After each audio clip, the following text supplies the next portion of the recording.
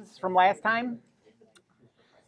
Uh, so we're finished talking about uh, just rotational kinematics, and now we're going to go on to kinetics. We're trying to get to one big equation. What's that? What's the equation that we're heading towards? I didn't say this or anything, but.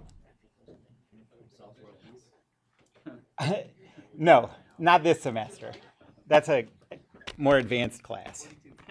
Um, so, Newton's second law, we already know that. So, so we're trying to get to the rotational version of Newton's second law. Um, so we're on rotational kinetics.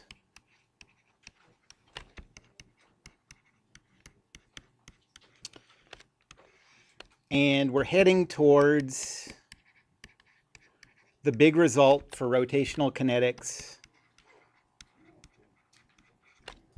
And that's, well, I always call it Rn2L, the rotational version of Newton's second law. And that is that add up the moments about A, and those are equal to the moment of inertia about A times the angular acceleration. Um,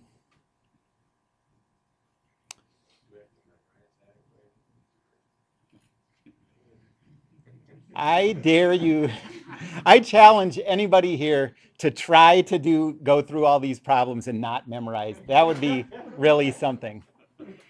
Um, so we're heading towards this, and we've talked about what angular acceleration is, but we haven't talked about these yet. In this, you know, in statics, we talked about a moment, but we haven't talked about that yet here. So I'm going to introduce that idea. And uh, then I'm going to tell you what the moment of inertia is. And once we have those two things, then we can use this equation. And uh, this, like, writing it this way kind of implies that this works for any A, but that's not true. So what are the two possibilities for A? Don't look at your notes. Center of mass, that always works. So if if you can't remember the other one or you don't whatever, or you don't even you just don't want to think about it, you can always do it with A equal to center of mass. Um, but it saves you a good bit of time if you have the option of the second one to use it. And that is when A is fixed to um, an inertial coordinate system. And so couldn't you always, like, well, can't you always use it? Because isn't there always a, a point A that's fixed in an inertial coordinate system? Well, the point has to be fixed in that inertial coordinate system and fixed on the body. Okay, so you can't just choose some point A unrelated to the body. It has to be a material point on the body. Um, so this one is always true. And this one is not always possible. All right, so uh, moment. Um, everybody's talked about moments um, in statics, but uh, so we call it a moment, but I think it's worth uh, storing it in your brain as the moment of a force about a point.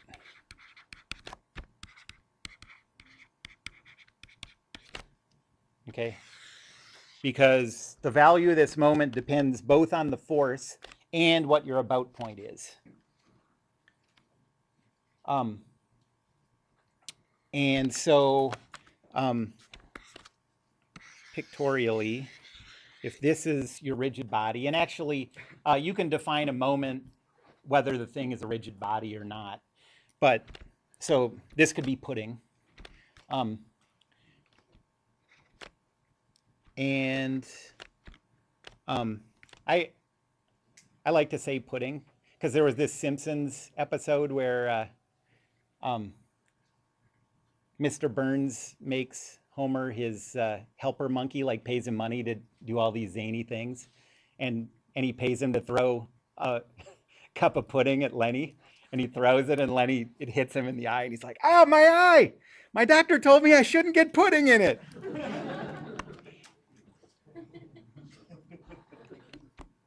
um.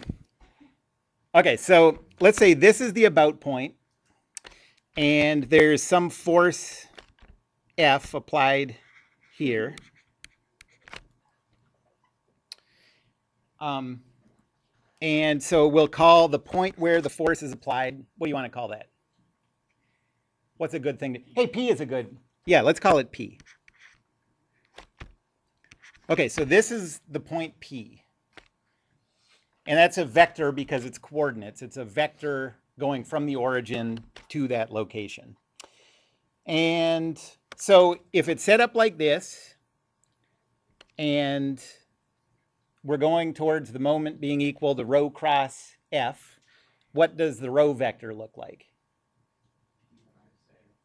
Okay, that's right. So that's mathematically what it is. And what does it look like on this? P minus A. So it goes, it's a vector from A to the point P.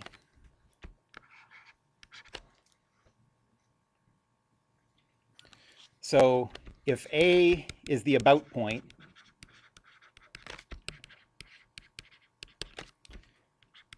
P is the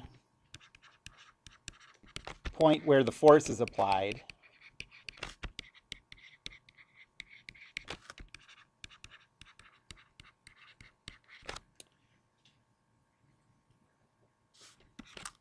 Then the moment about A produced by this force F is equal to rho cross F. Um, okay, so I think it's helpful uh, to write this out in sort of a table form. Um, and you'll see, like when we start using Newton's second law and rotational Newton's second law together, you'll see this table works out really nice. Everyone who took statics with me, this is how we talked about it. And so um, this table you set up this way.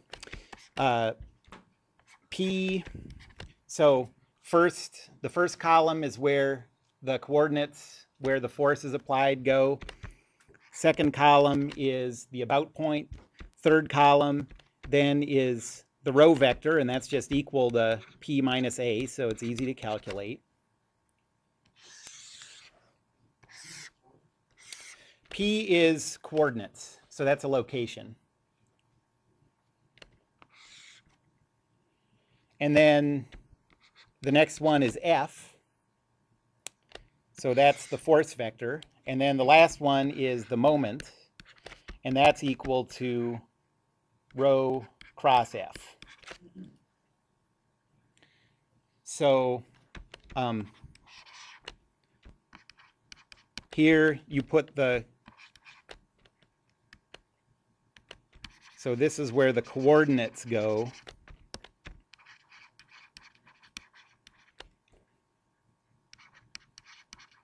for the point of force application.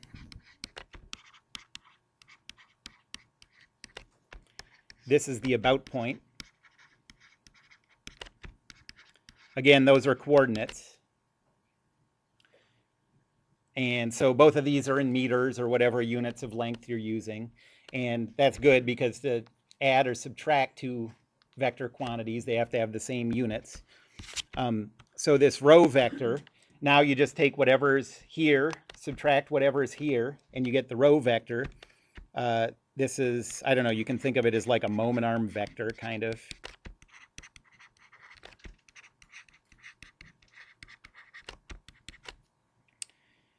Um, then F is the force vector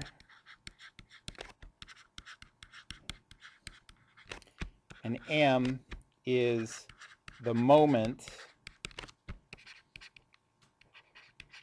about A produced by F.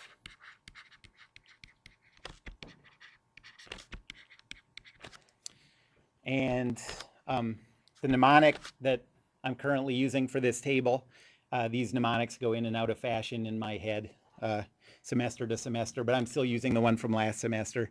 So um, is pancake artists row, get it? Greek letter rho for marzipan, which is um, not only a memory device, but it's also true for a pancake artist who lives on an island and uses marzipan in his pancakes. Maybe somewhere. It's like uh, when you see like wedding cakes and stuff, they have like big elaborate shapes and things made out of, it looks like it's made out of the frosting. It's that like pliable kind of halfway between candy and a frosting. You can get it at your, you know, local bakery and whatnot. Um, okay, so to write out the table, here's the mnemonic device. Pancake artist row for marzipan. Um, okay, so let's do an example.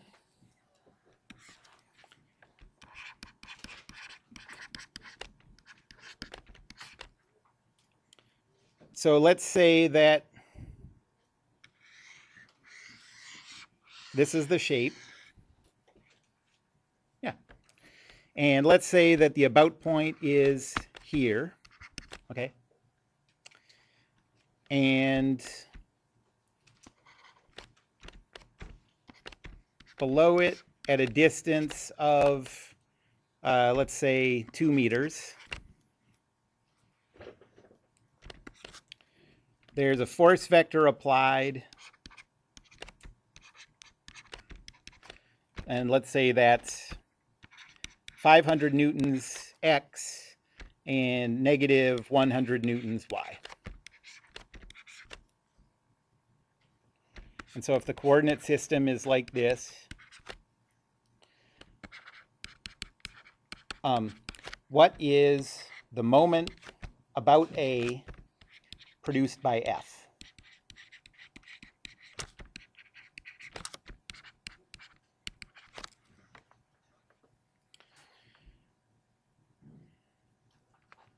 Okay, so I'm going to write out the table.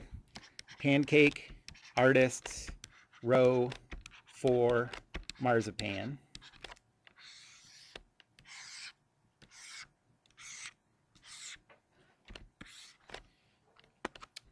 Before you can assign coordinates to anything, you need to choose a coordinate system. Uh, so where do we, you know, there are really two sensible places to choose the origin location for this. Uh, one would be at A and one would be at F. Let's put it where F is. Um, so put the origin at P, okay? Um, so then uh, what are the coordinates of the point P? Yeah, zero, zero, the origin's there. And this is a three-dimensional problem, so for now I'm going to write it out with three coordinates. Um, then what would the about point be? Zero, two, zero. Yep. Zero, two, zero. Now subtract p minus a to get rho, and you get zero, negative two, zero.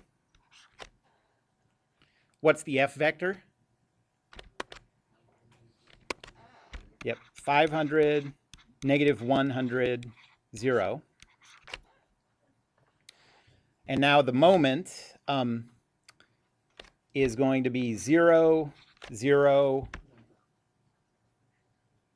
uh, yes, 1,000.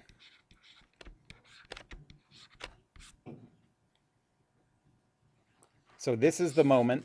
And so MA is equal to 0, 0, 1,000. What are the units?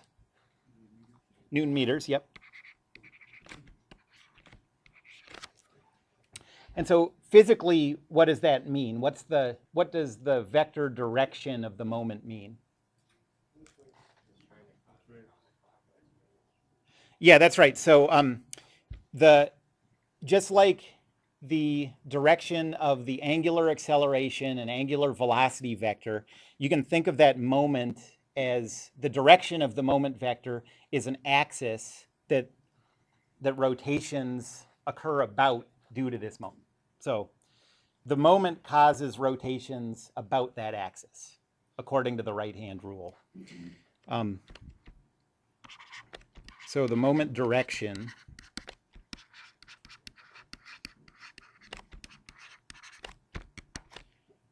um, is an axis about which a rotation would occur.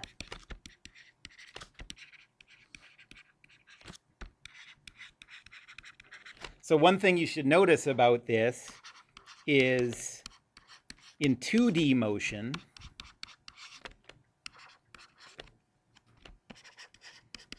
so let's say 2D motion in the xy plane, um, the moment only has a non-zero z component. That's always the case, okay? Because if if the object's moving in the xy plane, um, the only so you know if the xy plane the xy plane is this, and my hand's moving in that plane, all axes have to be either into the page or out of the out of the page. Okay, that's the only kind of rotation that can happen.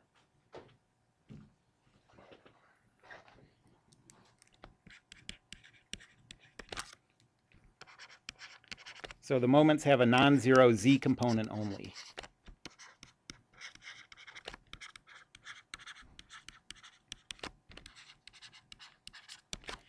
Um, but in 3D motion in general, you know, all of these can be non-zero.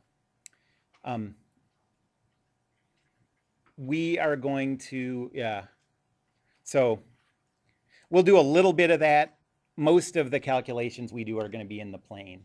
And we'll see how you can you can actually build three-dimensional problems out of sets of two-dimensional motions. So like you're first dealing with a moment in this plane, then you're dealing with a moment in this plane. And so most of our thinking is going to be in the plane, in a plane. Um, anybody have any questions about calculating moments? All right. So the next thing we have to talk about is the moment of inertia. Um, so the way to think about this, again, like for storage in your brain, think of it as the mass moment of inertia.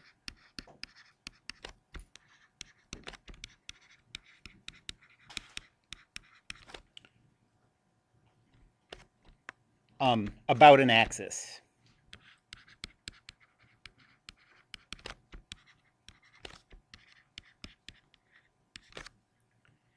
And um, we're always going to represent this as a capital I with a lowercase a. Uh, so the A refers to the axis, just like the A referred to the about point for the moment. Um, anybody in here taken deform yet? Okay, so you've already seen a moment of inertia that's that uses the notation I sub A. You still call it the moment of inertia, and it's a totally different thing. Like it could not be more confusing. It's they're unrelated to each other. So, what? so um, it's important to keep in mind. So notice that this measures an object's um, or measures the ease with which an object can be rotated.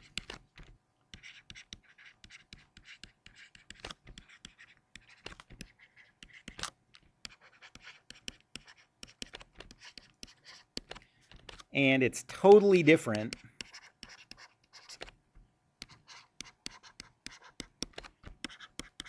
from the aerial moment of inertia.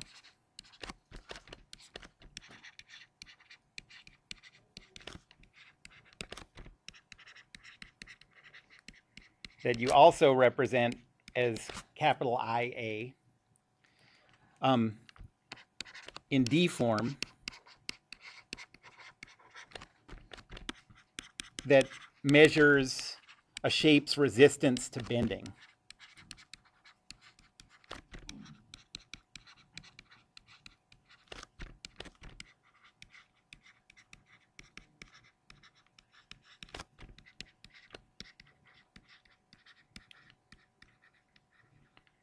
And so, of course, it's really easy to confuse these two. They come up in classes that you maybe take in adjacent semesters, and they use the same notation. You calculate them in a very similar looking way, but they're different things. So be sure you're clear about that to yourself, like when you do deform. Um, okay, so um, the mass moment of inertia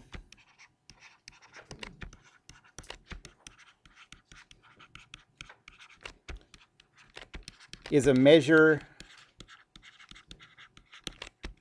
of resistance to rotational acceleration, angular acceleration.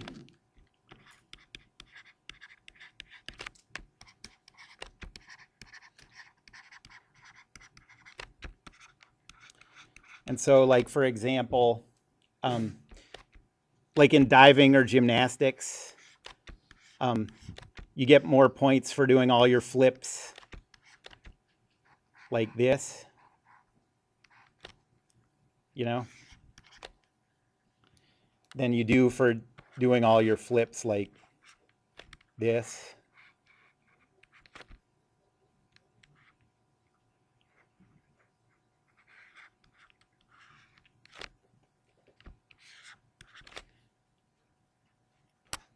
Um, and the reason is that this body position has a higher mass moment of inertia than this one does. And so it takes more to get spinning up to a certain speed. And so if you can't spin as fast, you got to go higher and so on. Um,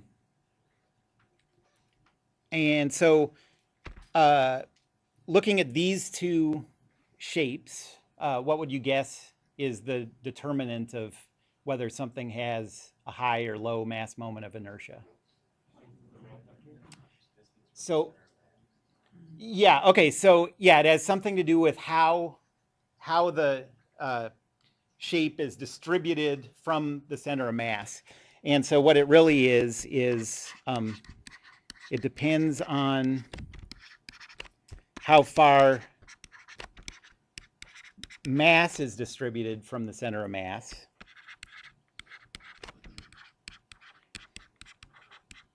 So a shape can be really stretched out, but if the stretched out parts don't have much mass, you know, associated with them, you can still have a low moment of inertia. Harfar. Harfar mal. Depends on how far mass is distributed from the center of mass. Okay, so um, just based on that definition, you could maybe come up with the integral definition, um, and it would look something like this. So here's the integral definition for the mass moment of inertia.